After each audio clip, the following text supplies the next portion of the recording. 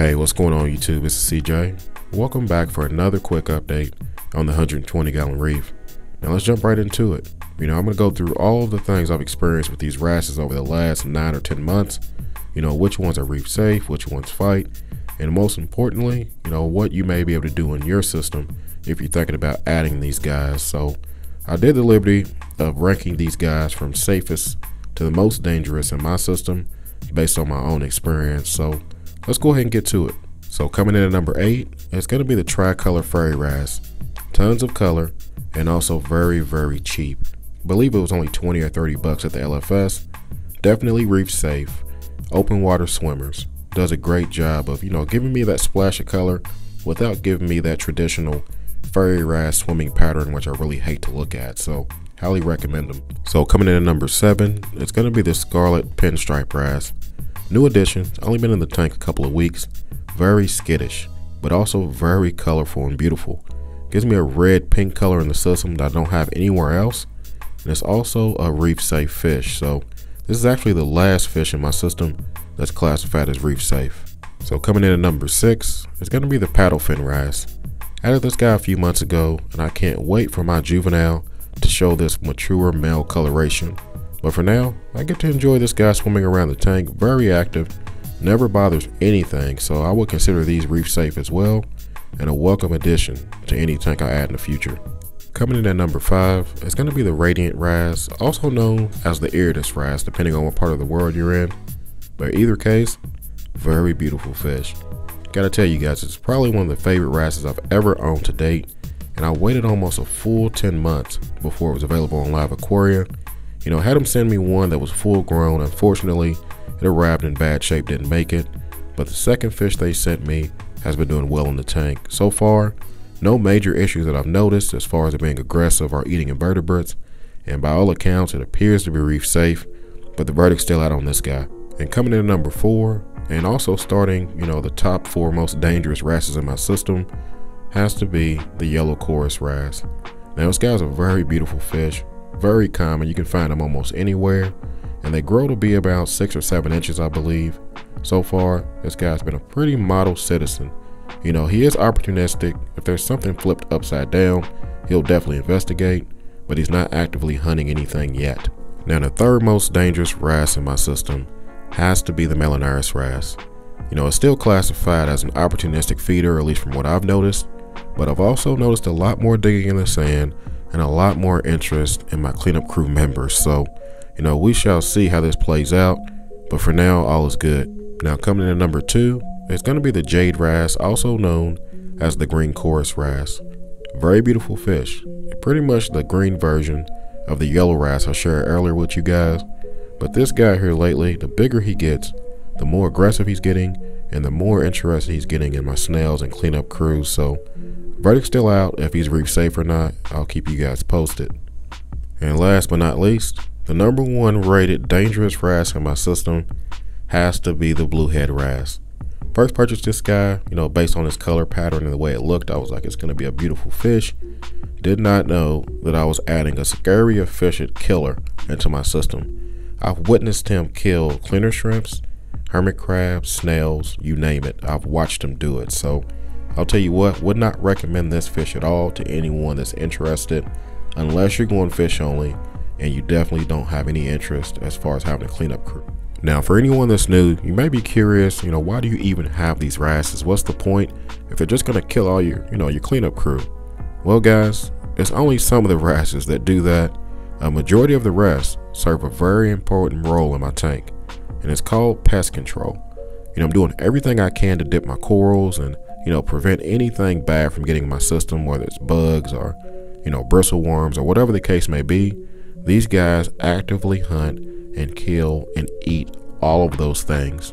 Not only that, they inspect every single coral that I put in the system, and they are very important as far as the long-term success of this tank in my opinion.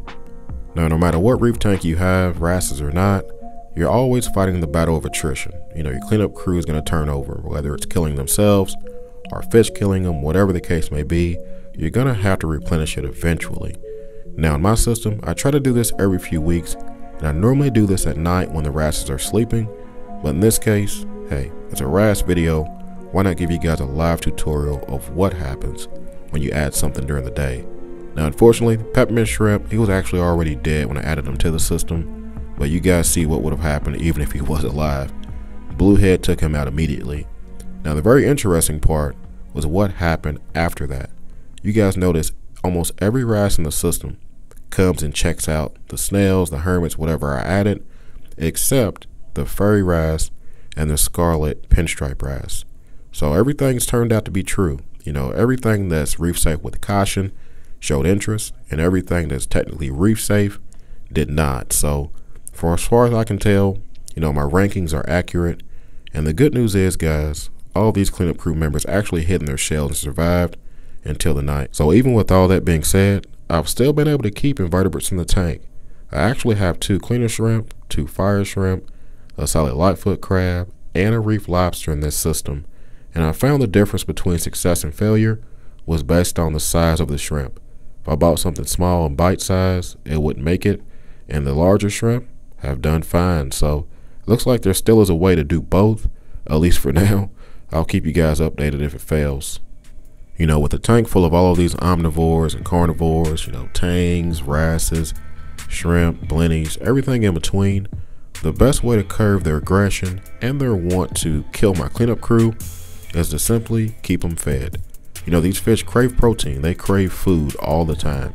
So the more I can keep them full of, you know, LRS Reef Nano, the frozen food, or mysis shrimp, or even the PE mysis protein flake food, the less likely they are to fight each other and to go after my cleanup crew members. So, believe it or not, you know, even when I introduce the Tang's food as far as nori or, you know, algae flakes, whatever the case may be, the wrasses even eat that too. So, these guys are getting a healthy diet, a mixed diet of all different types of food, and I really think that's the difference between those shrimp staying alive and dying in my system.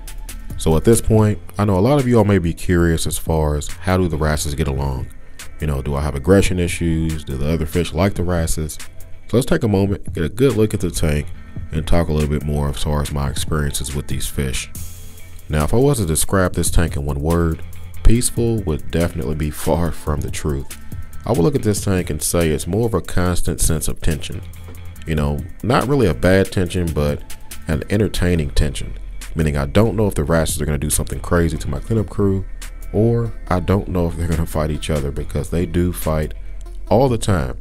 And it's more specific to the wrasses that are the same family or genus, I guess you want to say, whether it's the yellow coris wrasse and the green coris wrasse chasing each other, or surprisingly, the bluehead and the paddlefin wrasse. They all go at it. Specifically, those four wrasses fight each other. Now, the pinstripe wrasse and the tricolor fairy wrasse go at it, and then the radiant wrasse he just kind of minds his business and he may take on, you know, the blue head or whatever the case may be. So, you know, it really seems like the aggression is more of a I chase you, you chase me, and then we go back to hunting our food. Now, the funny part is, it's not just the wrasses.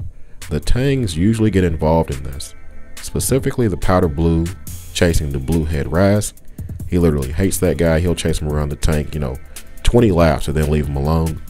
And I've also noticed that Tomini Tang do the same. You know, he'll chase the blue hair, the yellow wrasse, the green one, the radiant. He really doesn't care.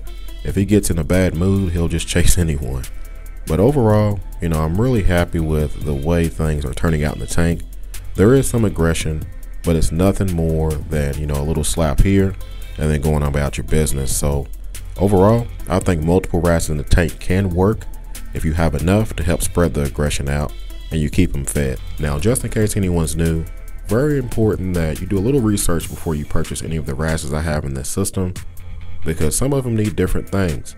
For example, the Melanurus wrasse, the Coris wrasses, the Radiant wrasse, all of those guys require some kind of substrate to burn themselves in because that's how they sleep at night. That's where they go when they're stressed out.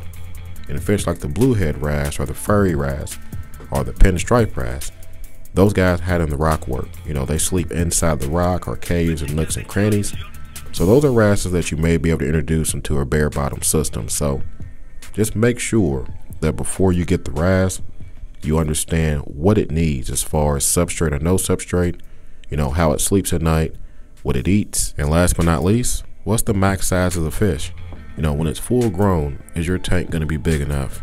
I try to make sure all the wrasses in this system are going to max out no more than 7 or 8 inches because I have no plans on upgrading this tank later down the road. There are beautiful wrasses out there that grow to be 1 or 2 feet long, so don't fall in the trap of buying a beautiful juvenile only to have a full grown monster in your tank, you know, a few years later. So at this point, it's time to go ahead and end this video and get on out of here. I'm hoping that I was able to answer some of the general questions you guys may have had as far as the wrasses in my tank and my experiences thus far. But I am curious about one thing. Based on experience, what was the most dangerous wrasse you've ever kept in your system? Maybe we can have an unofficial hit list as far as wrasses to avoid down in the comments. So other than that, as always, hey, you guys can like, comment, subscribe. You guys keep doing what y'all do. Y'all be easy. Happy reefing.